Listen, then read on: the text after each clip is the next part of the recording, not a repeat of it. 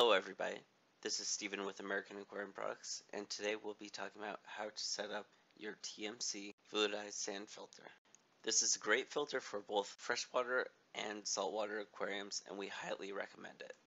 The first thing you want to do is determine the intake and the return. This is the intake, this is the return. Here are the parts that come with the filter. In this demonstration I'm going to show how to mount the filter on the side of a aquarium or a sump. Additional tubing will be required if you have the filter in your cabinet. First you want to cut a piece of tubing to size and secure it tightly with a hose tail lock nut. The size of this piece of tubing depends on how far the water has to travel to the aquarium or sump. Next you will want to attach a 90 degree hose barb. My suggestion is to heat the tubing and use Vaseline on the hose barb in order to get a clean, tight fit. Next, you want to place just enough tubing on the end of the elbow so you can attach the supplied valve. You will want to take off the lock nut and put it on the tubing. After this, you place the valve on the tubing and then tighten the lock nut. You will want to do the same thing for the other side.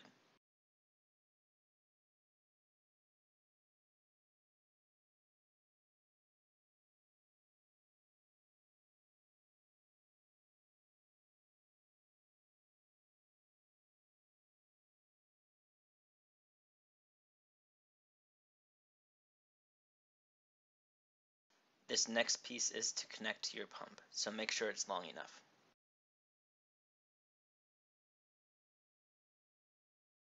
We are now going to change our focus to the return. Again, you're going to want a piece of tubing, cut to size, lock it down with a hose tail lock nut, add a 90 degree hose barb,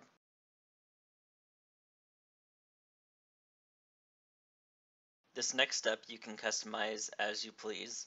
I decided to use a long piece of tubing and a suction cup so I can attach the tubing to the aquarium wall. You can also use the supplied plastic parts to make your return. Next we are going to add the supplied rock and sand.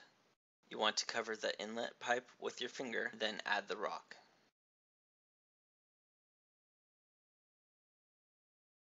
After adding the rock, you want to add the sand. Slow and steady is best because the sand can make a mess.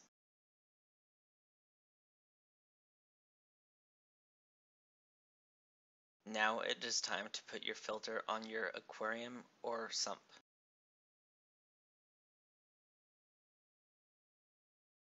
To ensure your filter is secure, use the two securing screws.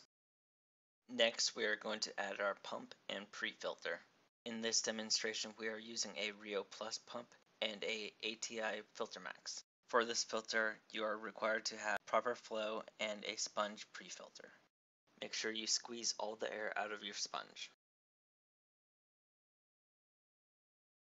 You will want your return flow just above the water surface to prevent any backflow. Now that everything is set up, plug in your pump and slowly open the valve. You will want to keep a slow flow rate while the filter is filling up with water to prevent kicking up sand into the aquarium.